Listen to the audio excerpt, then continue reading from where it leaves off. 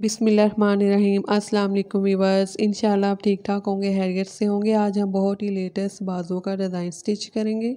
सबसे पहले हम बाजू का फैब्रिक लेंगे, इसकी मेयरमेंट करेंगे। इस बाजू की जो वीट है वो 16 इंच है, लेकिन जो हम इसके लिए कटवर्क कटिंग करेंगे वो 1.5 इंच, डेढ़ इंच बढ़ाकर हम कैनवस पेपर लेंगे, जिस पर हमने कटवर्क कटिंग करने से डबल फोल्ड करेंगे। ठीक है, इसकी जो वीट है वो साढ़े सत्रह इंच रखेंगे इस कैनवस पेपर की और जो लेंथ है वो दो इंच है। हाफ़ इंच पे हम लाइन ड्रॉ कर लेंगे। स्ट्रेट लाइन ड्रॉ करने के बाद जो हमारे पास बाकी कैनवस पेपर बचेगा, उस पर हम सर्कल में इस तरह से कट वर्क ड्रॉ कर लेंगे। ठीक है, कोई भी चीज़ लेकर राउंड शेप में इस तरह से हम कट वर्क ड्रॉ कर लेंगे। ये मैंने ढक्कन लिए, इसके साथ मैं कट वर्क ड्रॉ करूँगी। ड्रॉ करने के बाद सेम एज इट इज़ हम इसकी कटिंग करेंगे। आपसे रिक्वेस्ट अगर आप नए तो मेरे चैनल को सब्सक्राइब कीजिएगा वीडियो को लाइक कीजिएगा।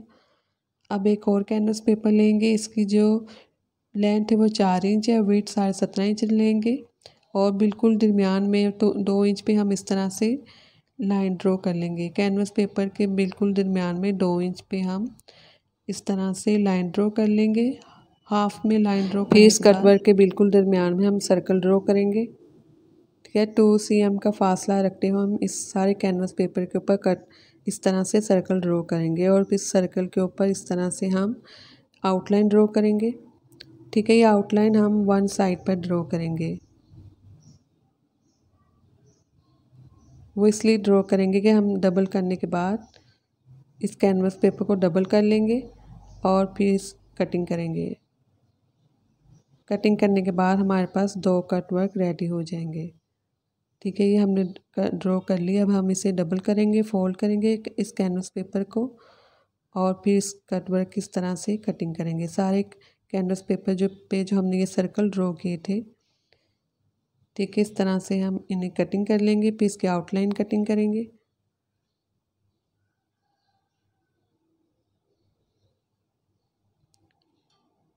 ठीक है, ये पहले वाला जो कटवर्क था उसे हमने कपड़े के ऊपर पेस्ट कर लिया है। ज़ीरो बुकरम इसके ऊपर लगा लिया ताकि फिनिशिंग आए कट वर्क में। और बॉटम के साथ हम इस तरह से अटैच करेंगे। पहले स्टेज सिलाई लगाएँगे इसके बाद हम सर्कल में इस तरह से स्टिच करेंगे। ठीक है इस तरह से हम इस कट वर्क को स्टिच कर लेंगे। ये स्टिच कर, कर लिया हमने। अब एक्स्ट्रा जो फैब्रिक है इस कट वर्क के दरमियान में से कटिंग कर लेंगे और फिर हम इस तरह से कट्स लगाएँगे ताकि पलटाने में आसानी रहे। अब एक फैब्रिक लेंगे इसके दर, बिल्कुल दरमियान में हम चार इंच पे फैब्रिक के ऊपर वाले हिस्से और नीचे वाले हिस्से में हम लाइन ड्रॉ कर लेंगे। टोटल जो लेंथ है वो सात इंच है लेकिन चार इंच पे हम ये लाइन ड्रॉ कर लेंगे। इसके बाद हम तीन तीन इंच पे इस तरह से निशान लगाएँगे सारे फैब्रिक के ऊपर।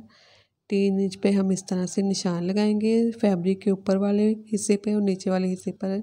हम निशान लगाने के बाद इस तरह से जिक जैक में लाइन ड्रॉ कर लेंगे। सारे फैब्रिक के ऊपर इसी तरह से हम जिक जैक में लाइन ड्रॉ कर लेंगे।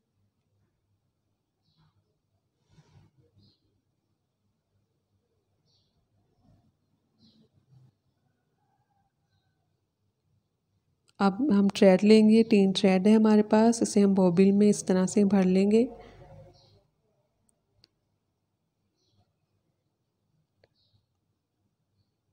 बोबिल में भरने के बाद हम इस तरह से इस पर सिलाई लगाएँगे। फैब्रिक के ऊपर हम इस तरह से सिलाई लगाएँगे। फैब्रिक उल्टा रखेंगे और इस तरह से हम सिलाइयाँ लगाएँगे। इसके ऊपर जिस तरह से हमने इस पर जिक जैक लाइन ड्रॉ की, इसी तरह से हम इस पर सिलाइयाँ लगा लेंगे और इसलिए दोनों फैब्रिक स्टिच हो चुके ये हमने पलटा लिए कटवर्क को प्रेस कर लिया, इसके बाद ये फैब्रिक लेंगे और इसके इस कटवर्क के नीचे रखते हुए हम इसे स्टिच कर लेंगे। इसके ऊपर एक सिलाई लगा लेंगे हम। है इस तरह से हम इस कटवर्क को फैब्रिक के ऊपर रखते हुए सिलाई लगाना स्टार्ट करेंगे।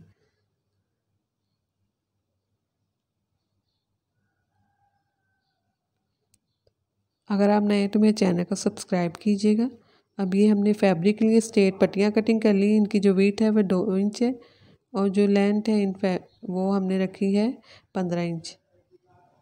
और इस, इन दोनों को हम इसी तरह से वन बाय वन स्टिच करते जाएँगे इन फैब्रिक को। इन दोनों फैब्रिक को हम वन बाय वन स्टिच करेंगे। इस तरह से हम सिलाइयाँ लगा लेंगे। हमने सिलाइयाँ लगा ली सारे फैब्रिक के ऊपर ही हमने स्ट्रेट पट्टियाँ ली हैं। ठीक है स्टिचिंग लगाने के बाद हम इसे उल्टा करेंगे। इसकी बैक साइड पे हम इस तरह से कट वर्क रखते हुए पेस्ट कर लेंगे और फिर इसकी स्टिचिंग करें, इसकी कटिंग करेंगे। ये जो हमारे पास बाकी फैब्रिक बचा है, इस, इसे भी हम इस तरह से स्टिच कर लेंगे। बचे हुए फैब्रिक को स्टिच करने के बाद इस तरह से दूसरे कट वर्क को भी हम पेस्ट कर लेंगे इस फैब्रिक के ऊपर। ये हम फैब्रिक लेंगे प्लेन इसकी जो लेंथ है वो तीन इंच है और विथ में ये कट वर्क के मुताबिक हम लेंगे फैब्रिक पहले हम बिल्कुल स्ट्रेट सिलाई लगाएँगे ताकि फ़िक्स हो जाए कट वर्क इसके बाद इस तरह से राउंड शेप में हम इसकी स्टिचिंग करना स्टार्ट कर लेंगे। ठीक है, सारे कट वर्क को हम इसी तरह से स्टिच करेंगे। स्टिच करने के बाद कट वर्क के अंदर जो एक्स्ट्रा फैब्रिक है, इसकी हम कटिंग कर लेंगे।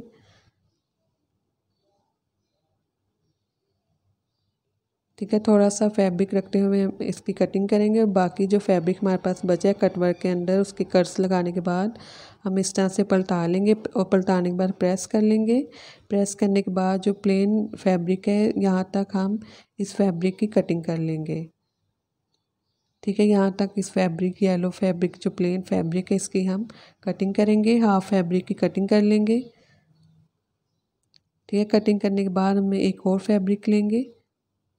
पहले हम स्टेट सिलाई लगाएँगे इस फैब्रिक के साथ, ताकि फिक्स हो जाए कट वर्क इसके बाद इस तरह से जो दूसरी हिस्सा है इस कट वर्क का, उसको हम स्टिचिंग करना स्टार्ट करेंगे। पहले हम सबसे पहले हमने कट वर्क के जो पहले वाला हिस्सा है, उसे हमने स्टिच किया। अब दूसरे हिस्से को स्टिचिंग करने के बाद एक्स्ट्रा फैब्रिक की कटिंग कर देंगे। इनके दरमियान में फिकर्स लगाएँगे और इस तरह से हम फोल्ड करेंगे फैब्रिक को। जो बाकी बचा था फैब्रिक को उसे हम इस तरह से कटवर के बैक साइड पे फोल्ड करने के बाद हम इसकी तरपाई करेंगे। ठीक है, इस तरह से हम तरपाई कर लेंगे। ये हम स्ट्रिप्स बनाएँगे। इसकी जो वीट है, वो है ऑलमोस्ट दो इंच इस फैब्रिक की वीट सिलाई लगाने के बाद इस तरह से हम सुई की मदद से इसे पलटा लेंगे और फिर हम इस प्रेस करने के बाद ठीक है इस तरह से हम पलटा लेंगे और फिर इस तरह से स्ट्रिप्स कटिंग करेंगे। तीन इंच की लेंथ रखते हुए हम स्ट्रिप्स की कटिंग कर लेंगे। स्ट्रिप्स को डबल फोल्ड करते हुए कट वर्क के कॉर्नर के नीचे रखते हुए हम इसे स्टिच कर लेंगे। स्टिचिंग करने से इसमें मजबूती आएगी, इसलिए हम स्ट्रिप्स को इस तरह से रखते हुए स्टिच कर लेंगे। और फिर बाजू के बॉटम के साथ हम इसे स्टिच कर लेंगे, कपड़ा लेंगे, एक्स्ट्रा फैब्रिक इसके ऊपर एक्टिव स्टिच कर लेंगे, इस एक्स्ट्रा, ठीक है, इस तरह से स्टिच हो जाएगा। फैब्रिक को हम बैक साइड पे जो बाजू की बैक साइड पे, उस साइड पे हम फोल्ड करते हुए सिलाई लगा लेंगे। ये सिलाई लग चुकी है। अब हम इस साइड पर, यहाँ पर एक लेस लेंगे ब्लैक कलर की और उसे हम स्टिच करेंगे।